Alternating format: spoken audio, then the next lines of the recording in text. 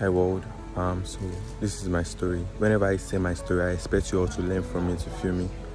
So literally, um, basically, I stayed with my uncle, as you all know it. So I had this cousin. She was always so wicked to me. You feel me? So there were these moments in my life. Um, I was writing my senior work. I didn't have a shoe or a sandal to wear. You feel me? So and I was going to the exam hall, and I had to wear something.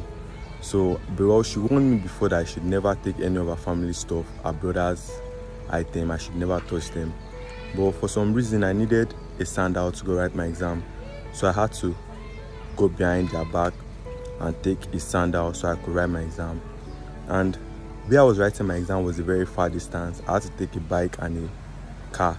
I didn't even I didn't even have the money, the ticket. I had to trek to the school. A lot of times I'll be sweating, feel me? So well, the day I go back after writing the exam and I go back, that day I didn't even know how she found out that I didn't have that I wore the brother's sandal.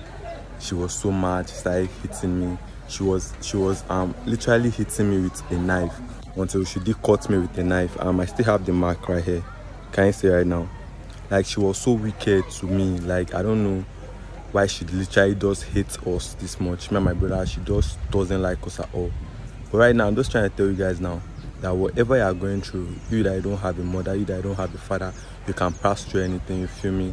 Also, people around the world um, that tend that your cousins are staying with your family, I tell you, be nice to them, you feel me? Don't hate them. God say love. Learn to share love among each other, you feel me? God loves you all. You all are amazing people. Alhamdulillah. God is the greatest.